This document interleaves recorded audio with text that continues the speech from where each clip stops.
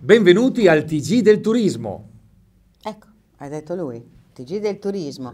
Perché? Perché dovete sapere che cosa si fa nei weekend e nei giorni normali eh, in giro per l'Italia. Dai, adesso ve lo raccontiamo.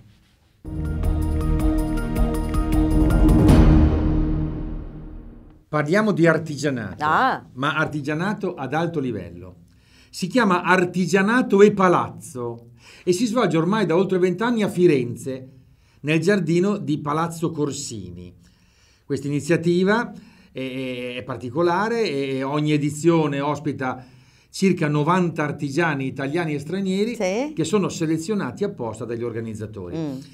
Nelle giornate della manifestazione questi maestri sono a disposizione dei visitatori, spiegano i segreti dei, dei loro antichi mestieri e tutto succede in piccole botteghe perfettamente ricostruite per l'occasione. E i prodotti naturalmente sono tantissimi perché nel corso degli anni ad Artigianato e Palazzo sono stati rappresentati 149 differenti antichi mestieri, dal ricamo all'arredamento, alla ceramica, alla Mm. pelletteria, fino appunto a- ai gioielli. L'appuntamento è, è- è tra poche settimane, dal 12 al 15 maggio. Segnare.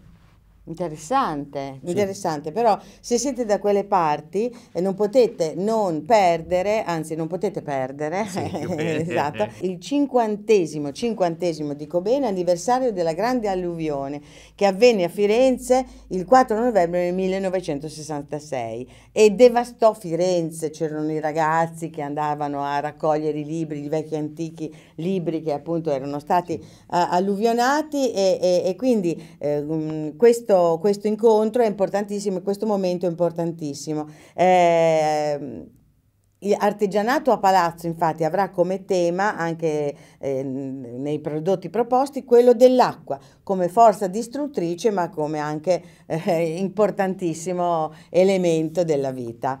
Allora eh, mi raccomando firenze2016.it informazione. E c'è il sito www.firenze2016.it incifre.it.